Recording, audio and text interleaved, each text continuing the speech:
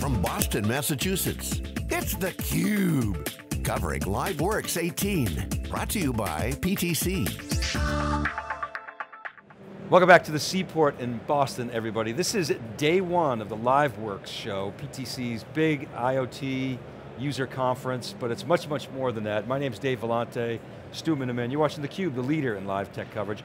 It's really our pleasure to have Devin Cleary here, he's the Director of Events at PTC. Dev, thanks so much for coming on theCUBE, and thanks for putting together such a great show. Oh, thank you so much for having me, this is great. You're welcome. So, you know, I say it's a user conference, but it's so much more. I mean, talk about what your intent was and what you've created, you and your team, at LiveWorx. Absolutely.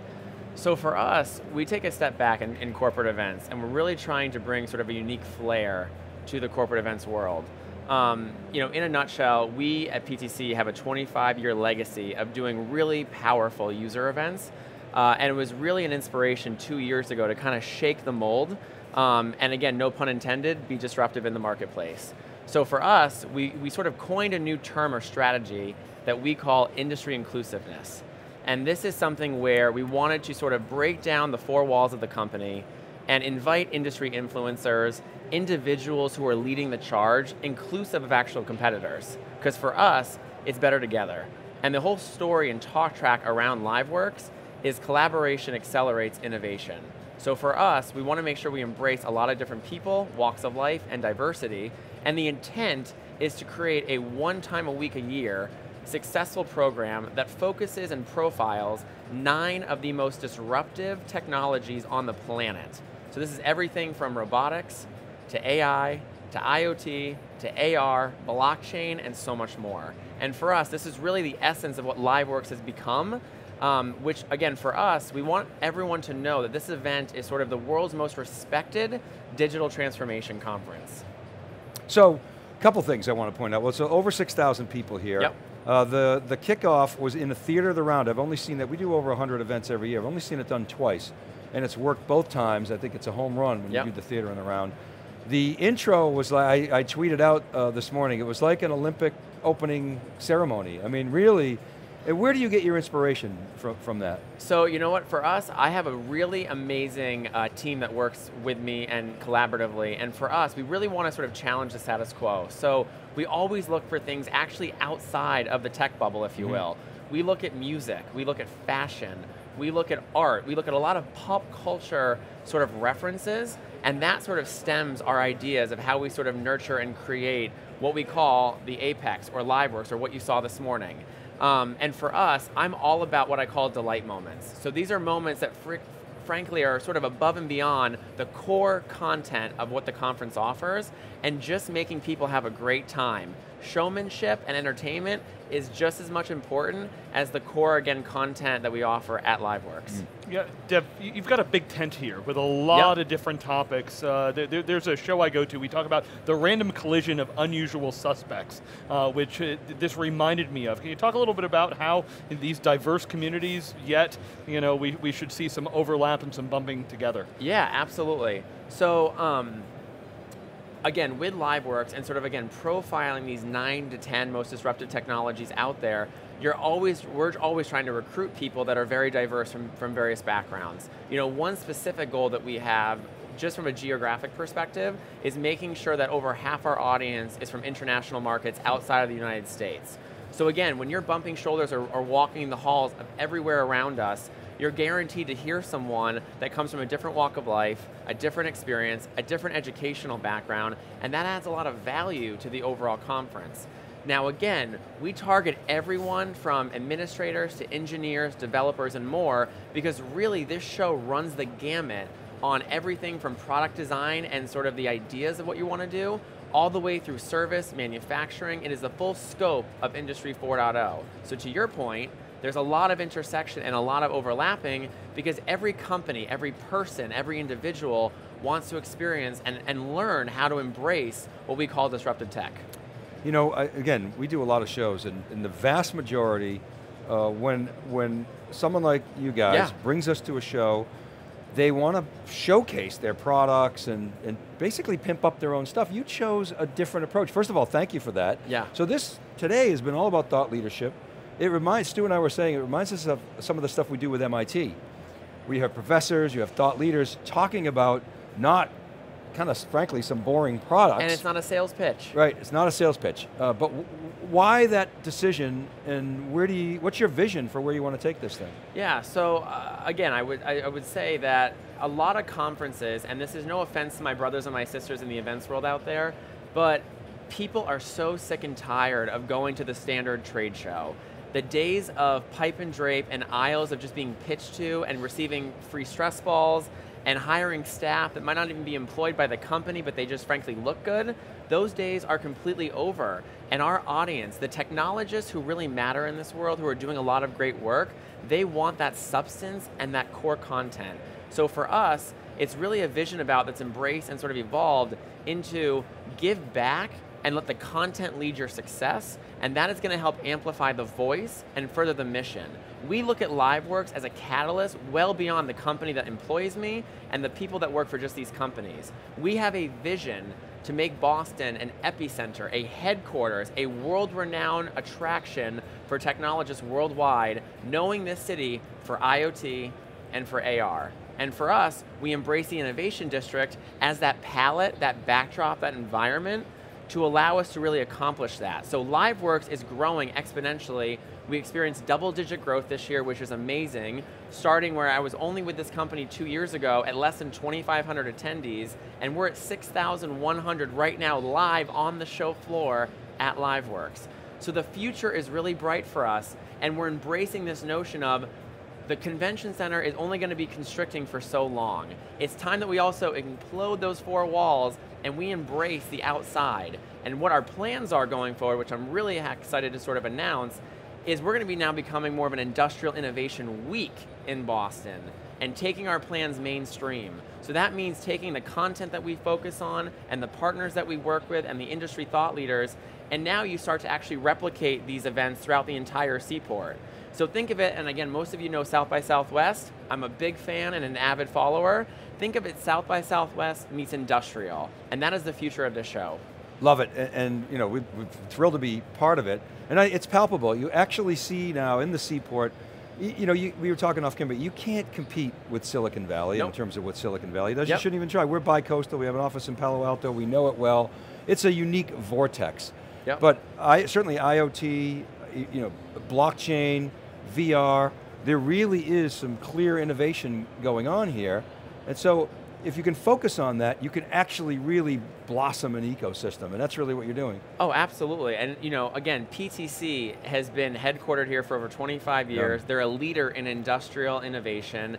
They are a company that believes in giving back. We have curated and nurtured through partnerships with Harvard Business School, with MIT Innovation Lab, et cetera. We've cultivated some of the greatest startups of our time right now who are creating groundbreaking technology in IoT, in AR, that is changing the world. We're even actually doing work right now in our backyard with Boston Children's Hospital, for example, doing incredible work with our Vuforia product and AR that's helping actually find a cure for Alzheimer's. So again, the, the, the, possibilities are endless and the innovation is limitless. Well, you're the hot company right now, obviously you know, growing very rapidly. Yeah. You had like the, the comeback kid, you're clearly punching above your weight. It was the Scott Kirsner article in the Globe was unbelievable. Thank you, I know we're very, and, and shout so out to Scott. You got to be th thrilled with that. And so, but, but what's interesting to me, Dev, is you're not, you, you could ride that wave and just pump up PTC, but you're doing things that will allow you to sustain mm -hmm. this as a community member, paying it forward. You know, it's kind of a cliche, cliche, but that's what that's what I see. Thoughts? A hundred percent. And you know, again, the way that we sort of frame LiveWorx is, I want you to think of PTC as the presenting sponsor. Mm -hmm. They are an investor in the vision that this team has to carry forward the community and the movement all around industrial innovation. And again, we feel that Boston, being in sort of our headquarters in our backyard, it's important that we're giving back and again, furthering that opportunity to further solidify our right as a rightful heir of IoT and AR as a city, as a community, and as a state of Massachusetts. Mm. Dev, wondering if you can give our audience that didn't come to this event yeah. a quick flavor of what's going on. Flavor, you know, I loved you had the Boston food trucks all, yeah, yeah. Uh, you know, right right outside. They're a little warm. Uh, you know, my, my, friends from the West Coast are like, this isn't warm, but for Boston, it hit summer. But uh, give it, give us a quick uh, tour around uh, what what yeah. so we're all about an immersive experience at LiveWorx. You know, again, you're going to have sort of the checklist of what you absolutely need to have at an event to sustain someone's expectations. So the content, the networking, the value. But again, we like to take it a step further and things that I call delight moments. So for example, this year in Extropolis, and Extropolis for those of you at home, that is our sort of expectation shattering, groundbreaking playground for adults in technology. So every corner, every ounce, every inch of this show floor has something to engage, ignite the five senses, and tell our story. And one example specifically that I love to highlight this year is I've actually created the vision with a whole slew of individuals from PTC and partners and whatnot, something we call the X Factory. Manufacturing is one of the biggest industries and business in the world. Mostly every company at an enterprise level has some sort of manufacturing component to it. And what we wanted to do this year is create the factory of the future, meaning working with the leaders like McKinsey and again, HeroTech and global brands in Germany who are defining manufacturing and who founded manufacturing in our history, we have partnered with them to say, what does that factory of the future look like? What are companies going to be doing 5, 10, 15 years from now, and what can we expect? You're getting that first at LiveWorx, which is awesome. And the whole process is, let's not have a standard kiosk. Let's not do a laptop with a video. Let's actually build out a 20,000 square foot industrial factory with multiple stations from digital engineering to service to, again, AR induced digital twins and everything else in between. And let's actually have every single attendee create, design, and manufacture a smart connected product. We're working with our partner Bell and Howell from a shipping and service and supply chain perspective, and again, we are blowing the roof off this show on that one activation, and there's over 100 in total throughout this entire show this week. So that's a little bit of a flavor of LiveWorx. And beyond that, we do things from everything from a puppy daycare hour to sort of do a high-tech, low-touch feel. We do incredible food presentations, and we're going to be ending with a big bang tomorrow with our closing party called the Mix at Six, which is one of my favorite programs the entire week. And that is actually a superhero-themed event where we're actually having a guest host and a personal friend, Paul Rudd, who is the Ant-Man from Marvel. sure. He'll be hosting our event. and the whole notion around superheroes is that we tell everyone this week, unleash your inner superhero.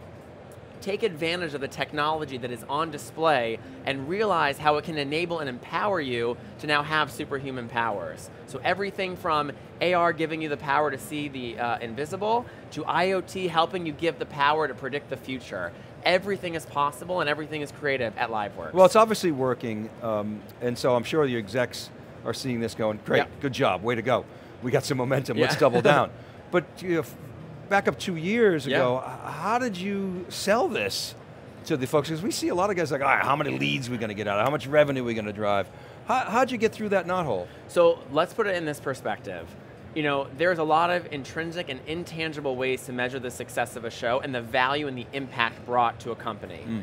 Um, one thing I would actually say, I've worked in the tech industry for over six years now. I've been in the events business for over a decade. I've worked for some of the most incredible and um, impressive and media-driven startups in the world right now.